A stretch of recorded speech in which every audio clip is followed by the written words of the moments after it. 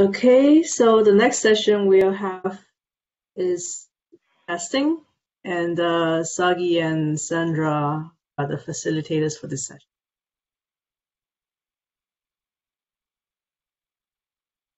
Hello. Hello. Okay, so um, we kind of pair volunteered because we didn't want to see this disappear um, from the agenda. Um, so I'm going to start with a question that persisted put in IRC. I don't know if they're on audio or just on IRC. Um, but the question was, and I copied it over. Um, I just started looking at migrating some modules to a dedicate, dedicated collection last week.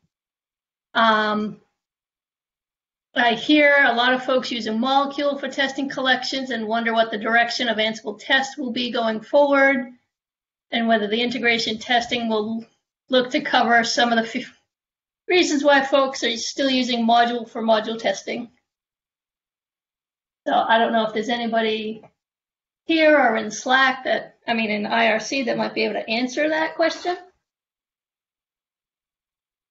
I can answer for at least the Kubernetes collection. The, the main reason for Molecule was we needed to have the configuration for uh, the type of provisioning that happens. So Molecule is a very generic kind of tool that's built to work with any kind of tool, whether that's Docker or Vagrant or Amazon or whatever. And uh, so we can run a, a cluster through molecule that gets set up and then we run the tests in it and then it gets torn down. Versus with Ansible test, it's built, uh, at, at, least r- right now, it works just with some Docker containers. I think you can swap out your own Docker container for it. Uh, and there may be a way to kind of hack the cluster into it with a Kubernetes kind cluster, but it also doesn't work with other types of Kubernetes clusters, like using Vagrant or building one in the cloud, which is helpful for a lot of our tests. So that was why the Kubernetes, um, the Kubernetes collection in particular, is using Molecule. It also had a lot of a, and I don't know if this has changed at all, but I know that the first time that we were working on the tests, the onboarding experience, if you weren't somebody who was like on the Ansible core maintenance team and already maintained modules and knew everything about Ansible test, the documentation for Ansible test is not end user focused and also at that time was non-existent. I don't know if there is some documentation for it now. Whereas Molecule is kind of like it's meant to be used by end users. And so there's a lot of documentation. There's examples for tons of things.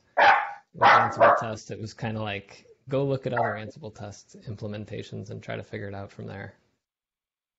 And also the like internally, I, I had never even heard of Ansible test until November last year maybe it was a month or two before that, but I, I didn't even know that was a thing. And it was uh, for the sanity checks, it's nice and helpful. Uh, for the, for the integration level process, it was a lot more frustrating to work with.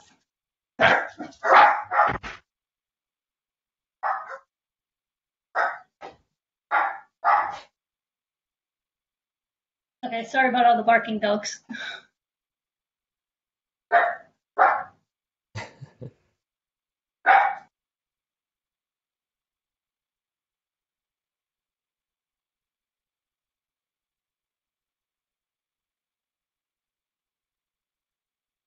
Okay. Um, were there other questions folks had about testing that they wanted to pop in, either in, in BlueJeans or over in IRC? Felix, the dog collection. tool. In Sorry, go. OpenStack collection, we use actually pure Ansible without and Ansible test for sanity only. We're considering to use Molecule because it has also OpenStack plugin and may be useful. But to be honest, I don't think uh, Ansible test, uh, except of uh, sanity, somehow is applicable for us. So currently it's mostly a little bit molecule and just assert module in Ansible. Yeah, so I can talk, I guess, from the networking side. the content team. So I would agree that Ansible test is more a test runner, um, whereas Molecule is a test runner and almost like resource orchestration because you can plug into OpenStack or you can plug into Docker or things like that. Not to say Ansible test will do that, but Ansible test you need to you know you have to go write your own Python code for that. With Molecule you can just use a playbook. So how we do it in uh, network, we can't use Molecule. Well, that's a lie. We have some pretty stringent requirements where we need actual boot physical networking devices. So no containers. So we're kind of unique in that aspect. But it kind of lines up with what was just said about being able to spin up a cluster or you know being able to spin up some infrastructure, right? So I guess from from my point of view, it's really about drawing the line.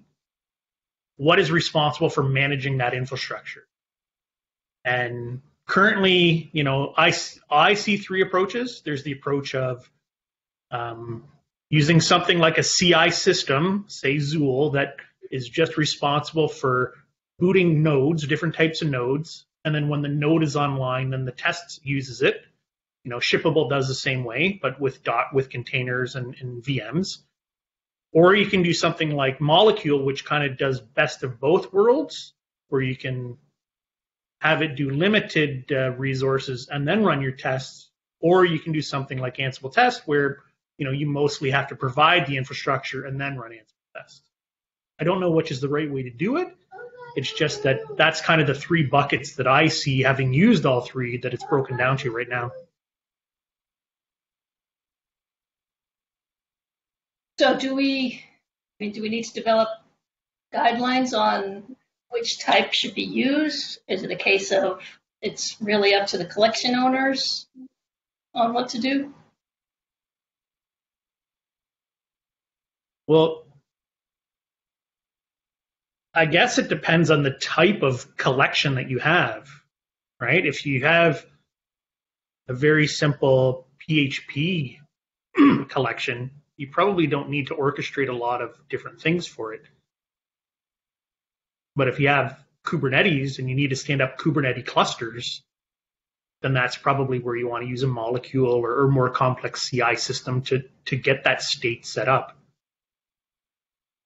So maybe recommending multiple is the way to go. But I know from a product point, sanity is the thing that needs to be run. And that's how we do it on the networking side. We we almost have multiple ways of testing things but you know, we do a lot of overlap testing to just make sure that we can test the community side and make sure from the product point of view that it conforms to Ansible tests because that's what Ansible test is the thing from a certifiable point of view. I, th- I think also one thing that gets confused a lot, especially if you're talking like Red Hat Ansible platform versus Ansible community versus anything else, is that Ansible Test Sanity tests module documentation, Python code, things like that, and confirms that it's up to spec. But there's nothing really for roles and also for um, other types of community content that I see mostly on Galaxy. Like the, it doesn't do anything there, and that's also I think where the molecule thing comes in because molecule is built for roles. So a lot of the people that come more from the side of I don't maintain modules day to day like for instance me i i never had seen ansible test before because i you know besides contributing a small one line patch here and there to modules i never really do a whole lot of module development so i think long term if we do want to try to standardize on something first of all the uh, the Ansible test sanity is helpful for modules and plugins, but it might not be helpful for roles or other content that are in collections. So that should be kind of explicit. For roles and collections, it's or for roles and, and other types of things, it might be better to use like Ansible lint and Ansible or and uh, uh, YAML lint, things like that, as, as, a substitute for sanity. Anyways, uh, I because I I just think that for a lot of people what what are you testing it can be very different. Like testing a playbook is different than testing a role, but only slightly. But it's radically different than generic testing of Python code. But testing a module that's in a playbook, which is Python code, is also slightly different than just testing a playbook because each level you're trying to test a different part of it.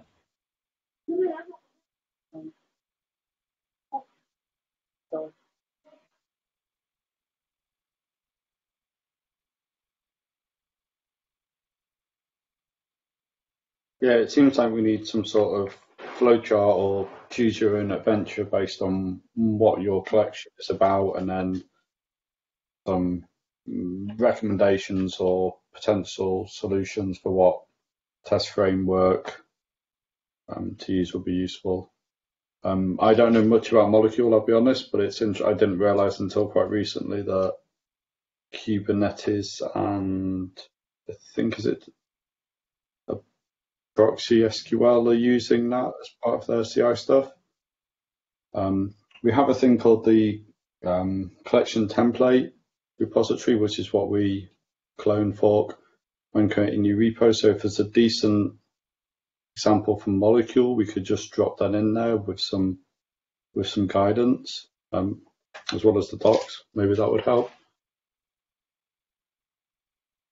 Yeah, I mean, historically for myself, the problem that molecule, the problem that um, that I usually had with molecule was the benefit that molecule gave to everybody else, which was the orchestration of the testing nodes themselves. So in, in the case of network, we have a really strong platform that will boot us up, you know, VMs or appliances or things like that, or containers or even Kubernetes clusters and stuff. But so in Molecule, if you disable that and use a lot of the other cool functionality that it has to bring a you know run testing of a playbook and things like that, Ansible Test has that today with its integration point. You know, you just set up your inventory file with the IP address and the, the, the user that you SSH into, and, and away you go. So there's there is overlap on Ansible Test integration or Ansible Test network integration, as long as you're able to provide the inventory file uh, with the endpoints that you want SSH into. But as soon as you say you need a Kubernetes cluster, then um, that's where I see the benefit to Molecule. The other thing that Molecule does give is a lot more pluggability of pretty much every layer. So you can have in Ansible test, it's like it runs a list of tasks basically. If you're doing an integration test, you, you give it a task file and you can include other task files, that kind of thing. But Molecule can run Ansible playbooks and it can you can have a verify playbook that that does different verification steps. You can have a lint step that runs whatever linting you want and you can also integrate it with like uh, uh, Py, whatever the Python test kitchen or something like that.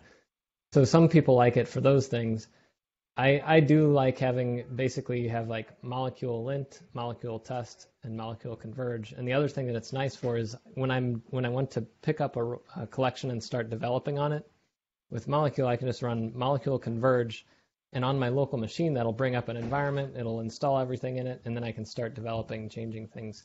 Ansible test, I, I, think there might be a way, there might be a command line flag or something now that like leaves the environment running instead of tearing it down, but it's not really built to be that development tool as well.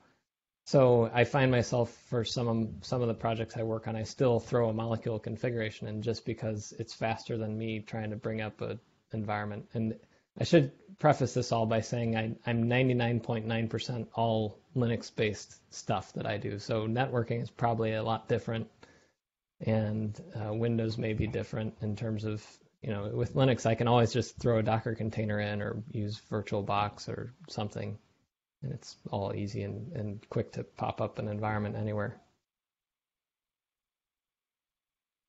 Was there anything else we wanted to cover on molecule versus Ansible test? So, so just an update from sort of the Ansible side. Long, it, it is on like the Ansible business or whatever roadmap to do some more stuff with here. Um, However, COVID has sort of put a pause on some of the recruitment stuff that we're doing, but I, I really hope that we can get some extra people um, on payroll to, to help with this stuff. But this this feedback is really useful, so I'll make sure this is fed into the the right place. It, it feels like a lot of it is a documentation issue. I've not heard that much yet about lack of functionality. Um, so if there's anything on the lack of functionality side, I'd be interested on on hearing that, and then we can see maybe if there's some ways of improving that or getting that put on some roadmaps. So a question I had, and, and I think Angelo, you put this in the as an action item already, is I guess there's another player in all of this is the GitHub Actions. Does anybody want to wax philosophic on when to use that versus the other things that we've been talking about and shippable? I'll say quickly that uh, GitHub Actions has it's it's a it's a system where again coming from the end user's perspective versus somebody who's maintaining a like a supported collection or internal Red Hat stuff. Uh, GitHub Actions has a lot of uptake. It's kind of like Travis CI used to, and Circle CI and Drone and things like that. That it's really easy to use and it's integrated with any GitHub repo. Any open source repo gets free minutes every month, and so we're using that for the uh, Kubernetes collection, and it has a lot of nice functionality built into it. I personally haven't worked much with Shippable. I just see the reports that come out of it sometimes. In Ansible Podman collections, I use GitHub Actions only, and I don't think I can use even Shippable there. From my experience in Ansible, uh, core is shippable. GitHub Actions have a lot of free resources actually and VMs, unfortunately only two. Uh, but still you can uh, run containers there and environments.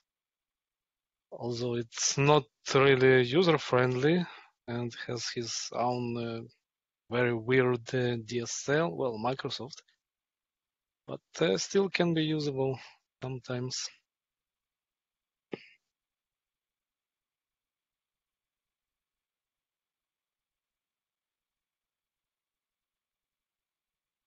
Also, I noticed that a lot of uh, the supported collections were using Zuul. Are they also using Shippable or just Zuul? No, most of it is Zuul, 100% Zuul.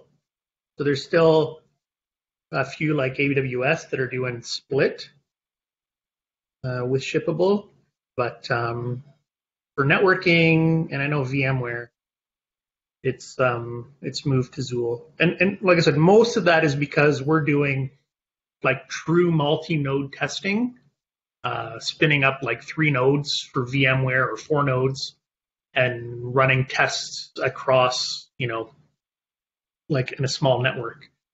Um, for network appliances, unfortunately, we can't just we can't like that's the problem. GitHub Actions are great, but as soon as you need to run something a little bit different than what they give you, or you want to do more complex things, it it tends to get problematic, from my experience. But um, but yeah.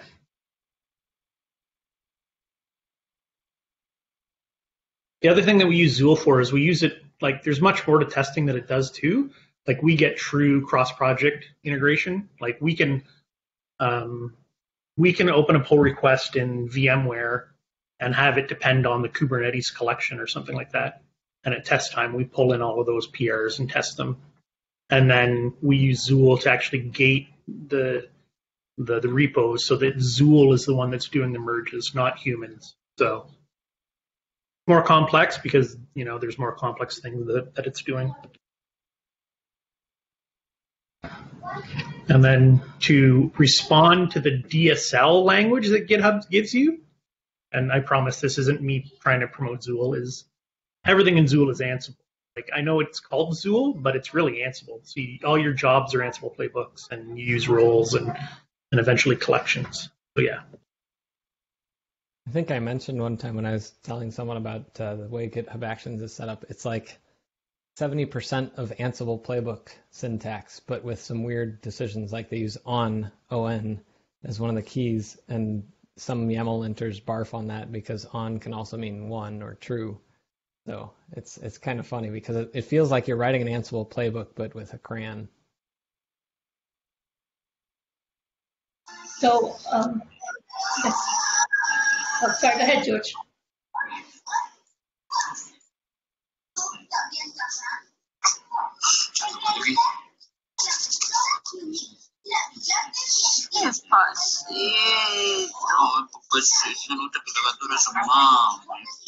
George, are you trying to speak?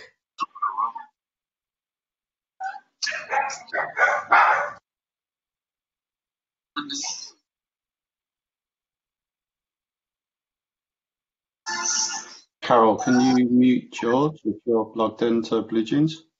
Yeah, I just did. I think he probably accidentally unmuted himself. Thank you. Okay, so just to cover what I think I just heard, um, that GitHub Actions comes as part of part of GitHub, and I think what Gundalow was saying in IRC is that shippable is when you say shippable is free for public repos, it's that for public repos associated with Ansible or public repos under Ansible collections? All, all public repos. So if you want to use shippable to test against AWS or MacStadium or Windows, because I think we run that on AWS, um, then that incurs a, a, financial cost to Ansible. And at the moment, we've limited that to the Ansible and the Ansible collection repos. Okay, so if I was a if I was looking to split something out of Community General, and I was looking for my testing options that wasn't going to cost me anything. Um, molecule is an option, Ansible Test, obviously, GitHub Actions, and, and Shippable is an option. Depending on what you're doing, yeah. So just to there's a dependency that's the, there's there's sort of two parts to this. There's what command you're running, so that might be Ansible test, molecule, uh, I don't know, YAML tox. So they're the commands you're running. And then for all of those, they could be running one or more of the scheduler, which could be Zuul, GitHub Actions, Shippable, Travis, uh, what else? Circle CI. So they're two separate two separate choices you can make. Uh, so I don't think Zuul is specific for any repo. I mean, there's a cost to it, but I mean, there needs to be a discussion if we. I don't know who. Hold on a second here. Sorry, my kids are wrestling. Um, but there is a physical cost involved to, to running that capacity, and I just don't know who makes that call aside from saying open the door and let everybody use it. I mean, one of the things that I think is nice about things that are not Zuul necessarily is a there's a huge amount of crosstalk with uh, other open source communities and projects that use things like GitHub Actions or Travis, things like that. It doesn't seem like that's really happened. I don't like I'm not a Zuul advocate, and I uh, I'm not, but I'm also not like a detractor. I'm just saying, as somebody who's outside of this whole thing, it doesn't seem like it's used many places outside of the Ansible world. And so not only does that mean that there's not as many like, uh, how do I do this in Zuul? And you find a blog post that has a obscure thing that you're trying to do, but also like the interface and the, the design paradigm and, and all that, that was something that turned me off the first time I was like, oh, I could try this out. I was like, oh, where I could spend a day trying to try this out versus with GitHub Actions and Travis and Drone and Circle CI and things like that. Usually it's like three or four minutes and you already have a job running. It might fail, but you could get it running. It wasn't like that when I was trying to get Zuul up and running. And I like with the Ansible one, it, right now there's coordination required. That was a little bit of a. It just adds delay and, and stuff that you don't get with the other systems. Yeah, no, you're right. I mean, usually there are communities using Zuul, like um, at one point the Asterisk, Asterisk project was, OpenStack does. Um, but it's usually by the time you get to that, you have like significant, significantly more complex problems than the the other ones provide. So I, I can understand what you're saying because it is a much more complex system. You know, everything that you're talking about from a testing point of view can totally be done on shippable, Travis, molecule. You know, that Zuul does all of that. But it's, it's as soon as you start saying you want to do cross project testing, you know, so let's say for argument's sake, we wanted all of the community collections to be tested together at the same point in time at merge time, you know. That's very difficult to do because you have to write all that logic to to pull things in and and pull PRs that are not merged. I mean, you get all that for free with Zuul. It's it's a much more complex process to to understand how it works, but at a single module point of view, you don't you usually don't worry about that because your collection is self-contained. Like I said, for networking, we want to ensure that a change to the Cisco IOS collection isn't going to break the net, you know, the Cisco NXOS collection, and we do that at, at runtime during testing. Um, but I would agree, it, it is a much more complex system for for much more complex things. And I guess, you know, in the case of VMware, right, they need nodes to run VMware on, and and you can't do that on Shippable, or you can't do that on GitHub Actions right now.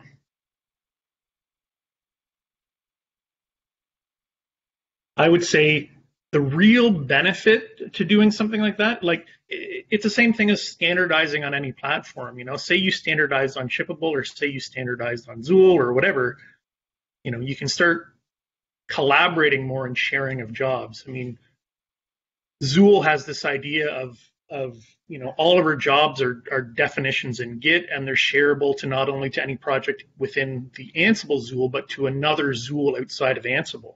So like we run jobs from the OpenStack Zuul um, in the Ansible Zuul, and we don't have to maintain those jobs. You know, it's all distributed and stuff like that.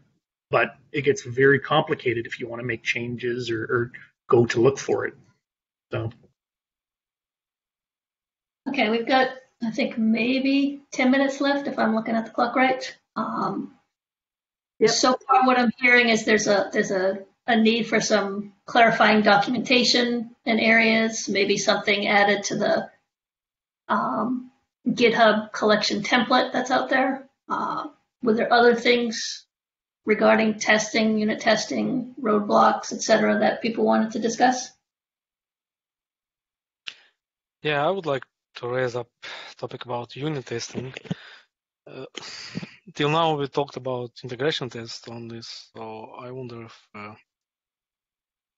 I don't know. I was googling a lot for unit testing for Ansible modules and asked in Ansible Devel and was given a few examples how we do uh, unit testing for uh, modules. But to be honest, uh, I don't have a strong opinion on any of examples or so, and uh, I just wonder if uh, can be maybe a different project like we have uh, I don't know, molecule for integration testing, something for uh, unit testing, some framework maybe. Like we like we have like there, there could for, be. Uh, yeah, and maybe it will be like under umbrella of Ansible and to go with all Ansible changes and help. There, there, there are a few things tied up in that question. Um, First and foremost is probably that most modules are not written so that unit testing is that easy to to do. And that's just that's a problem with the modules themselves. They could be written differently. Uh, unit testing is really really great when you have a lot of functions in the in the you know the the strict computer science sense where you give it arguments and you get a value back. And so then you can you know you can use your unit test to decide which values to pass in that are important for exercising all the features of the function and then checking that the value you get back is what you expect modules are not written that way um, i guess part of it is that they are inherently trying to manipulate the system and make it do you know here I run on this system and I want to edit these three files and restart this server, and you know they're they're operating by side effect.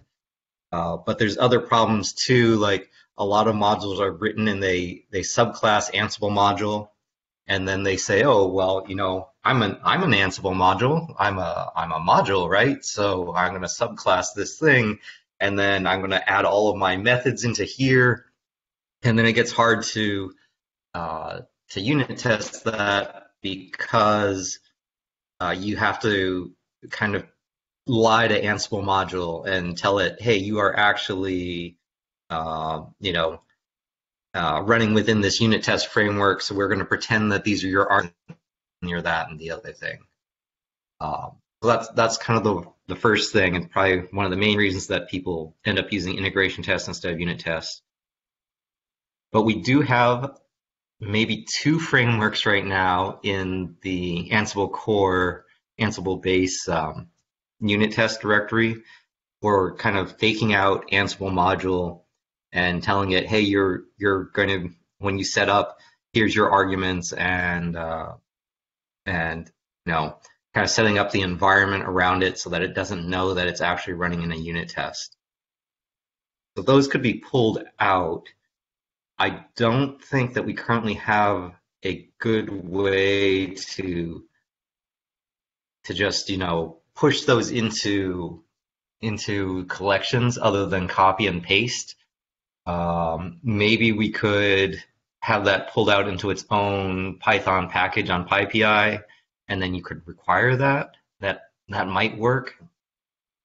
But you'd want to you'd want to take a look. There, none of them are that great. And I wrote one of them, and uh, you know, I I used this and that from PyTest and tried it, and it didn't work. And then this other thing, and oh, now it works. Okay, but it's kind of hacky. If someone knew PyTest really well, I bet they could do a better job than I did.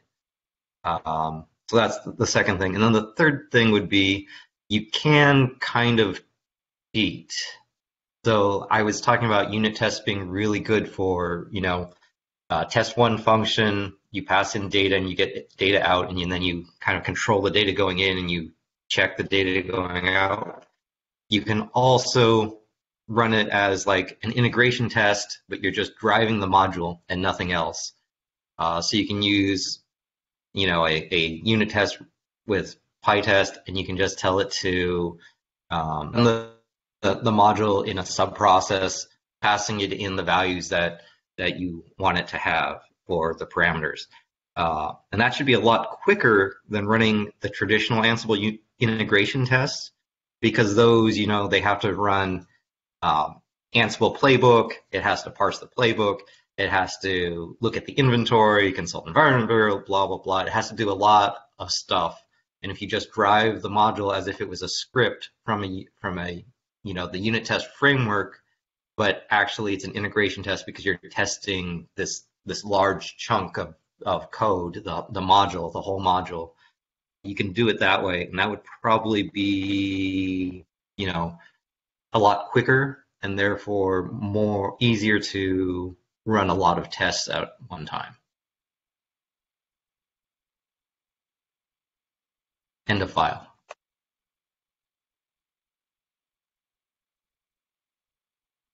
Yeah, thanks. It was useful, especially when you, for testing, you need uh, to, pro to provide some uh, cloud for uh, testing one module. In, instead of that, you can just run unit tests. It will be much useful. Would catch bugs sooner they than they go into CI.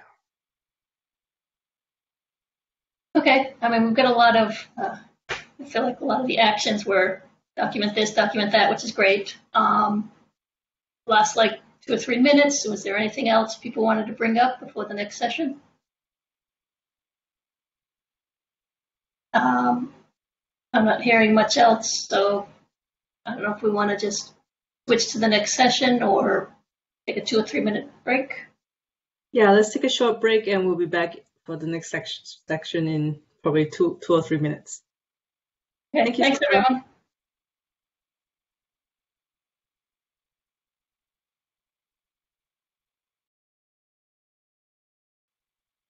All right, that was a short break, but uh, it's been a long day, so I think uh, everybody probably uh, want to get on with the last session, and um, we'll wrap it up quite soon after this. So the last section is on Ansible Galaxy and its relationship to Automation Hub, and it will be facilitated by Jeff Geerling. Hello. Yeah, so I mean, from my perspective, one of the things that I uh, am always concerned about is the fact that I have like 100 roles on the current Galaxy.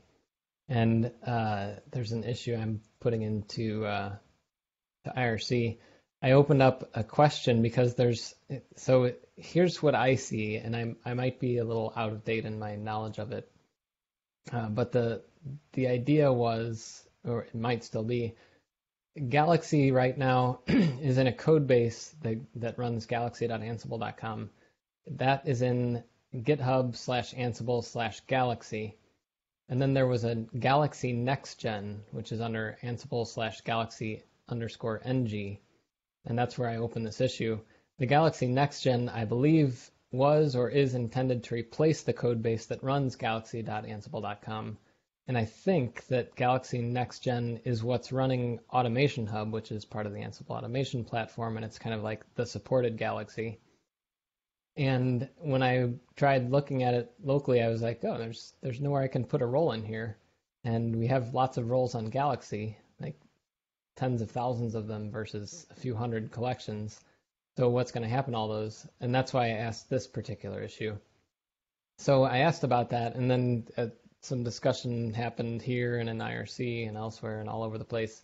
And it seems like the, the long term goal is to make sure that roles don't just disappear from Galaxy. So that was a good thing because a lot of people download roles and will be downloading roles for the next year or two at least, probably much longer, since all their playbooks, a lot of people's playbooks are built with roles.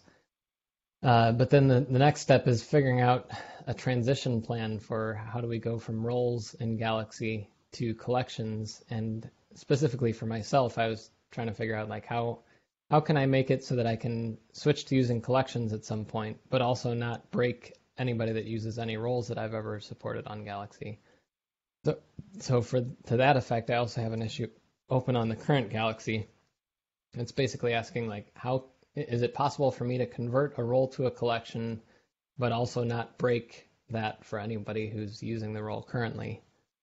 And um, those are a couple of my main concerns with where Galaxy is today and where it will be going and all that kind of stuff.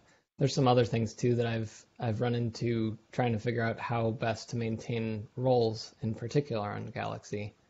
Uh, but I, I know some of the other things that I've been tracking is how are we going to get documentation for both modules and roles on Galaxy? Because I think the short term is that the Ansible distribution will have documentation that's built from the modules that are in the collections that are in it. But if I create my own collection that's not in Ansible, the next version, the documentation, I would have to generate my own documentation somehow.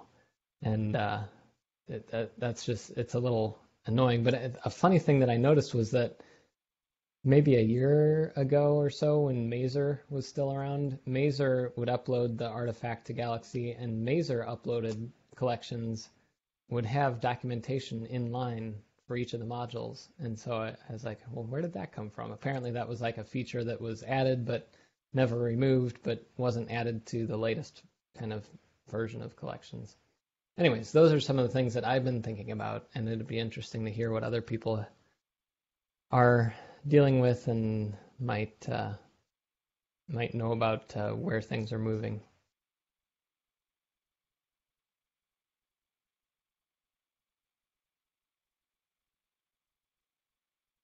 Um, I think we do not have anyone from Galaxy or, or product management for Galaxy today at the summit. So, um, unfortunately, I think we what we can do is to capture all these questions, which we will, and uh, hopefully be able to provide uh, uh, some some kind of answer through in, in, in, a later time. But um, unless there's somebody who who knows more than I do, please speak up. But at, at least for now, we don't have anyone.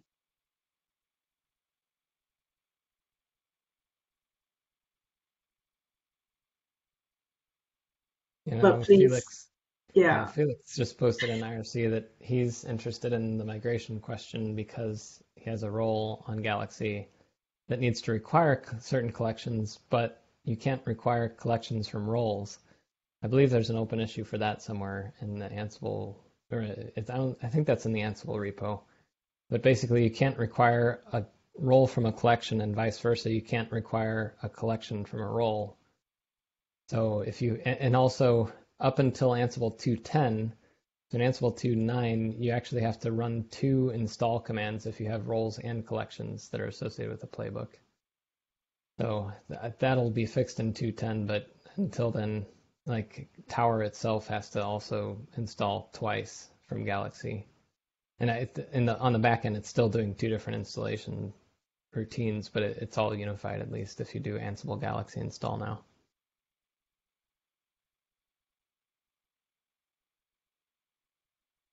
It And I think one one of the oh, go ahead, Felix. it was also my understanding that you cannot install collection dependency with roles, and the only way to work around this is convert the role into a collection. But then you need some, well, you have to migrate it somehow. And I, is there actually documentation on this process?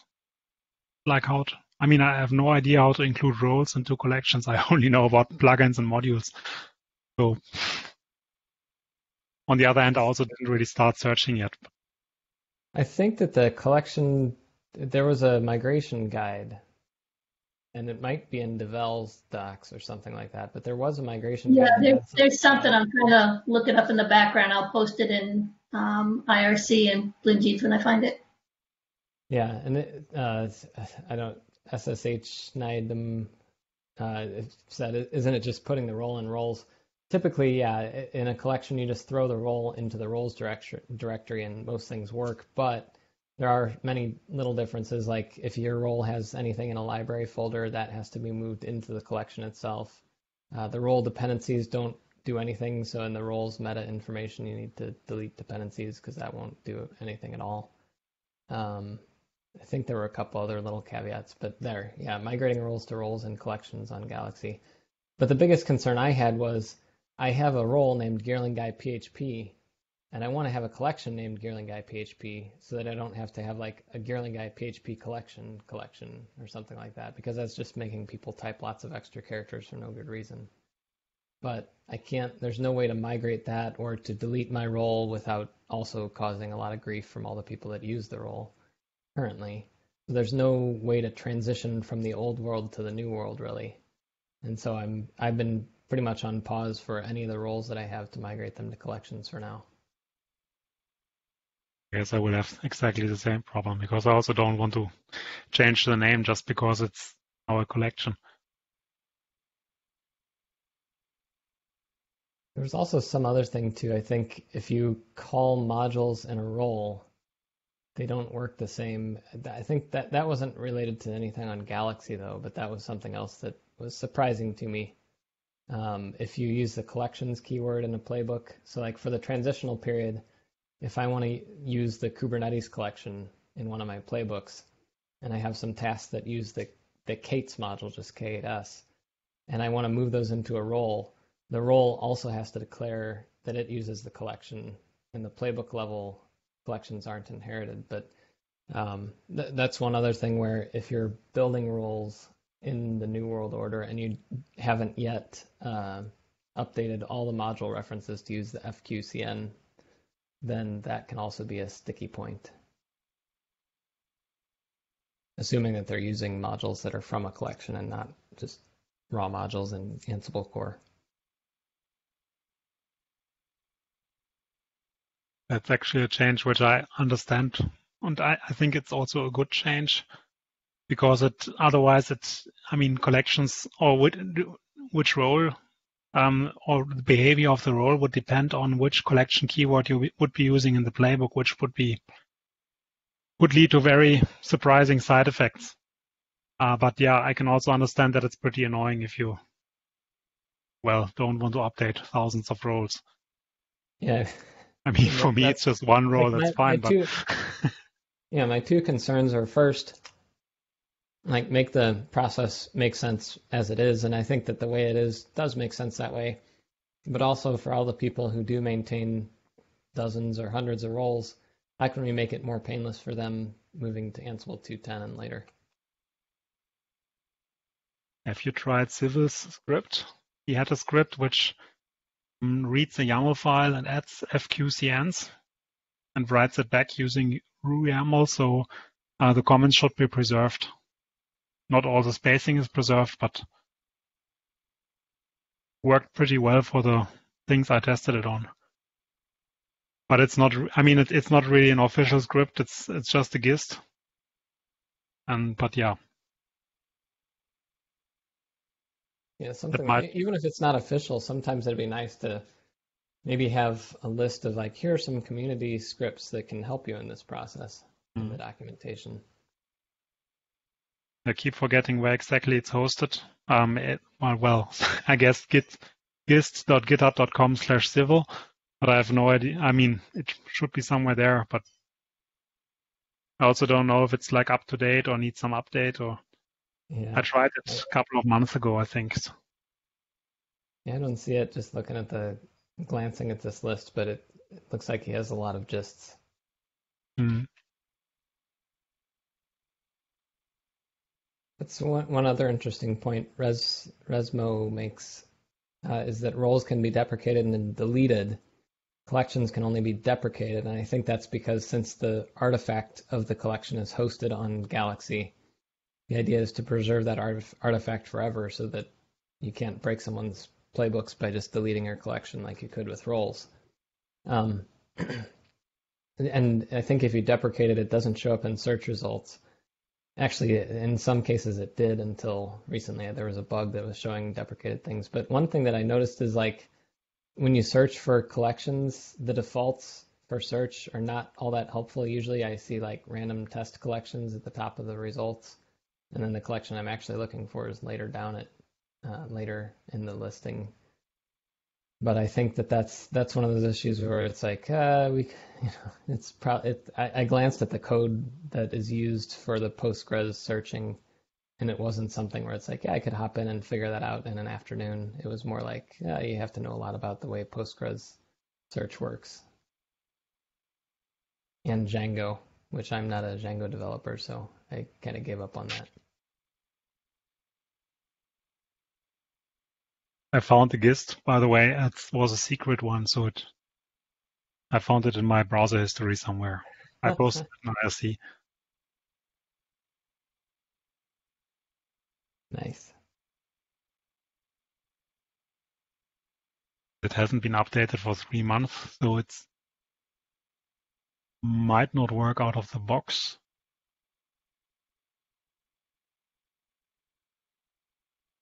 I guess it was still looking for routing YAML. Yeah, there. Yeah, it's trying to find the routing YAML file, which doesn't exist anymore. It's called Ansible, um, Ansible built-in runtime YAML. So with that change, it, it probably still works.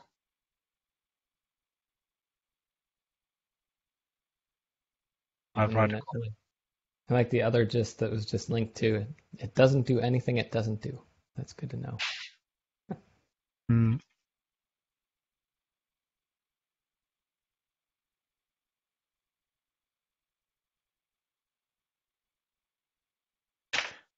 Nobody else wants to say anything. Yeah, I'm sorry that we don't have anyone from the, the Galaxy team or from product management. Um, I didn't notice this got added to the um, agenda and stuff and, and time zones on Vesk of, other meetings. Um, but yeah, we'll, I'll pass on the recording and, and stuff and we'll um, try and get some updates for you all. But these are good questions. I appreciate people raising their concerns.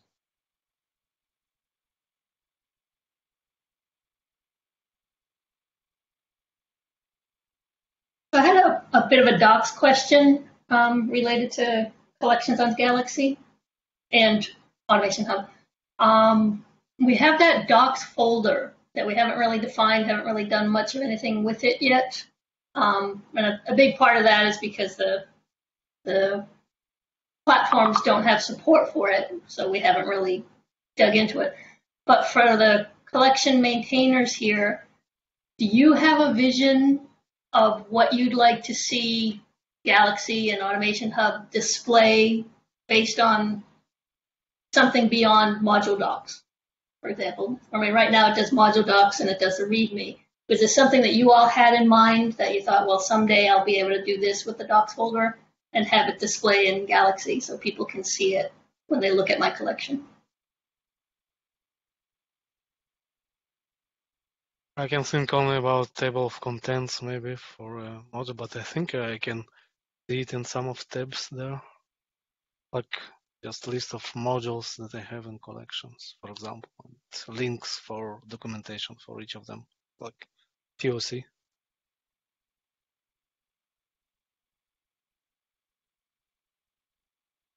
Okay, I think that I think that's in Automation Hub today, so I guess the Galaxy Future, whatever that future is, that might come in. But I was, I guess my question is, besides modules, do you all, is anybody itching to put more documentation in with their collection that we should be aware of? I mean, at some point, the issue for roles documentation. So in the past, it was every role was its own thing in Galaxy. So the roles README file was kind of its documentation, and there was never any formal formal structure to it. So it was all just every role author for themselves, basically. And uh, there was a proposal from like 2014 or 2015 that was like, how you know, can we do a structured roles documentation? And in uh, in Galaxy, and since Automation Hub has no uh, no role support on its own, there's nothing there for that. But even I think roles and collections don't do they get the readmes rendered? I, I don't believe that they do. I haven't looked at Automation Hub in a while, um, but I know that they don't on Galaxy. It just lists the roles that are available. But at some point, it would be nice to be able to have documentation for roles somewhere. Right now, it's basically you have to build it on your own and link to it from a README. Actually, what I'm doing right now is I, the few collections I have with roles in them are just submodules to the actual roles themselves, and I link to the role from the role collection so that you can see the documentation on the role.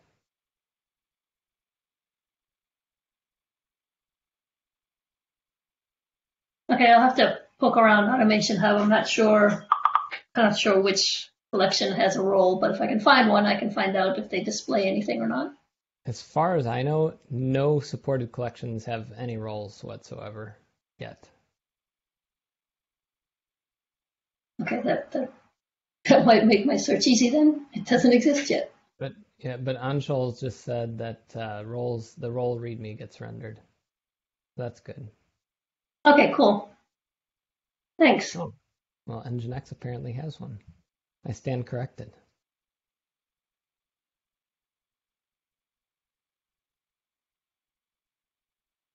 Okay, thanks. I just wanted to see if there was some pent up demand for docs beyond the module stuff and the and the roles that Jeff brought up. Thanks. Anyone else have any thoughts on Galaxy, Automation Hub, that kind of stuff? I think I'm about out of anything to talk about. I just have a question. Maybe it's obvious, but uh, just Automation Hub is does it duplicate what is in Ansible Galaxy? I mean, all the collections that are in Automation Hub, it's the same thing exactly like it's in the Ansible Galaxy public one. I guess from my perspective, I think uh, Automation Hub is a subset of what's on Galaxy. Everything that's on Automation Hub is on Galaxy, but the Galaxy version, just like with AWX, might be newer and more bleeding edge ish than what's on Automation Hub because Automation Hub is the supported things that are attached to a life cycle and, and that kind of thing. But I think someone else might be able to answer that even better than I can.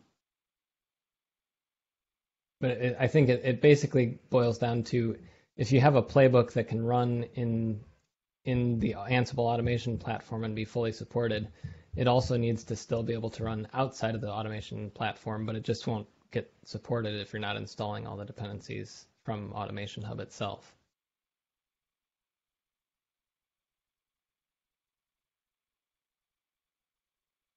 Okay. It's been a while since I heard anything official, but at one point in time, there was the thought that uh, Automation Hub could have things which were not on Galaxy. For instance, maybe some company wanted to put their proprietary Ansible modules onto Automation Hub, and those would not be going onto Galaxy. Yeah, and I think when you go down that path, you start, like in in my mind, as somebody who's more on the open source, not just open core side of things, it it makes me less happy about using software that has forever had all of it available, at least the Ansible stuff is always all available to everybody to having like a open core type of situation or where you have community stuff that's not maintained as well and core stuff that is that you have to pay for. But that would be something that a product manager type person would probably be better talking about and reasoning about.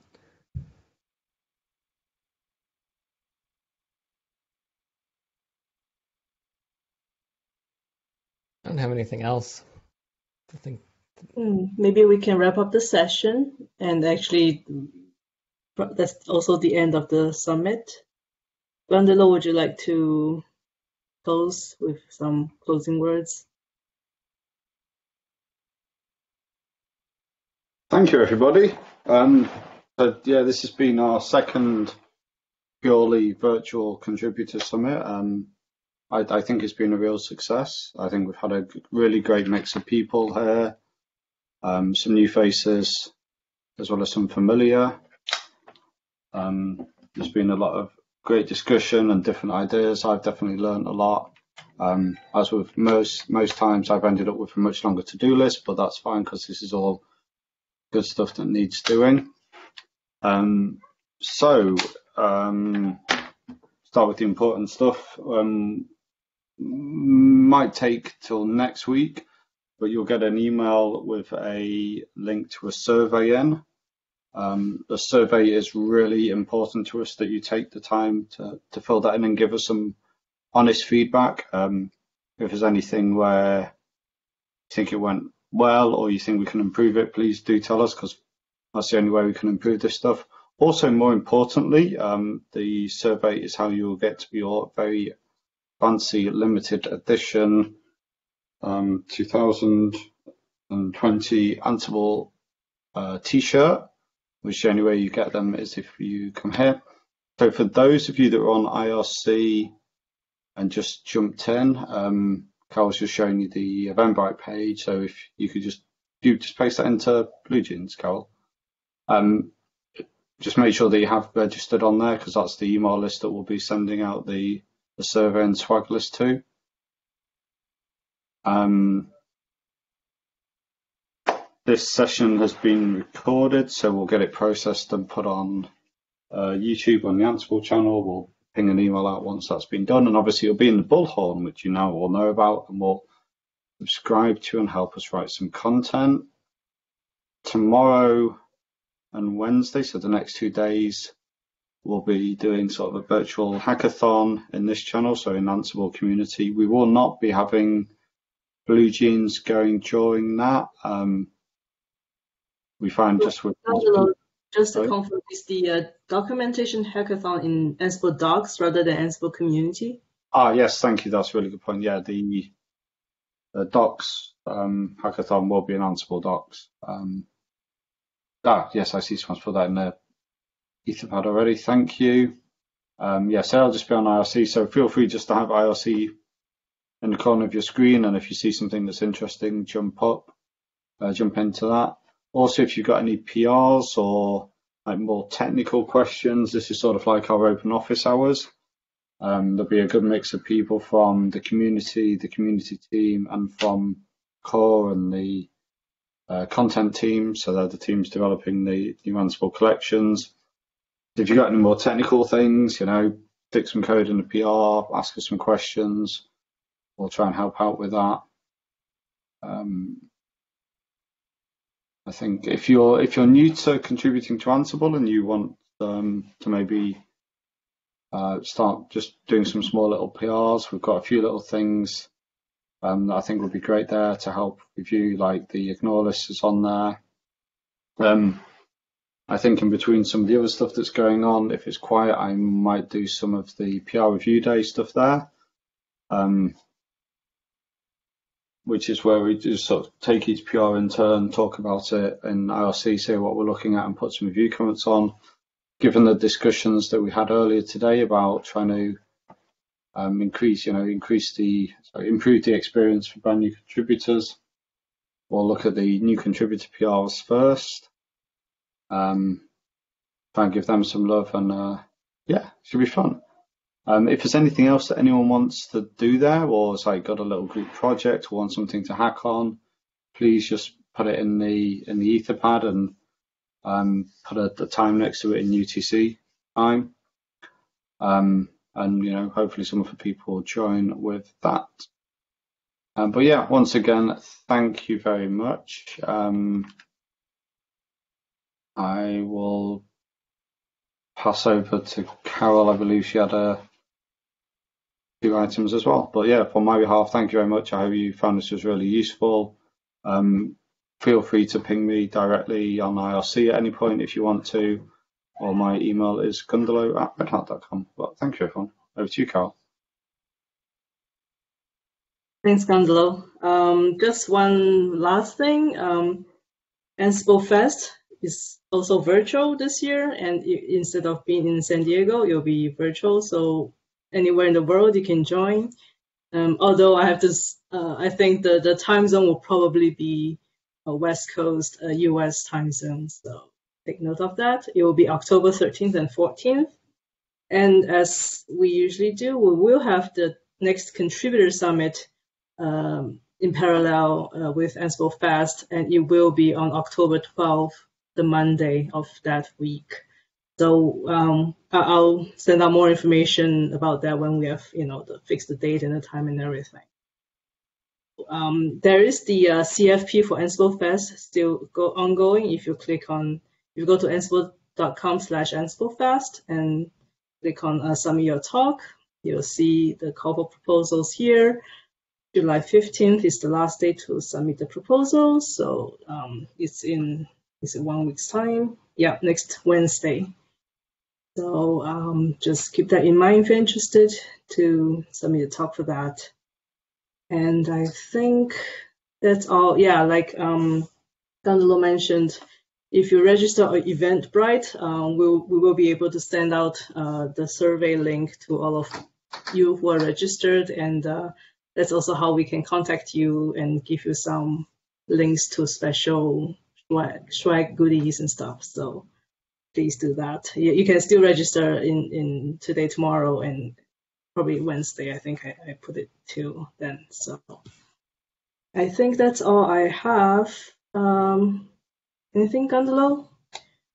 Greg? I think I think you might have logged off already. No, that's all all from me. Thank you again to to everyone. Um, I guess we'll just put some other closing comments in the RC log so they'll and then we'll close it up shortly. But uh, yeah, really appreciate everyone taking a good chunk out of their day to join us. I know um, that life is difficult for everyone at the moment. That you know, lots of people working from home, you know, looking after family, trying to do all that basic stuff, and you know, spending some time here is really appreciated. I think it again shows how amazing the community is. So yeah, thank you. Thanks everyone. Take care.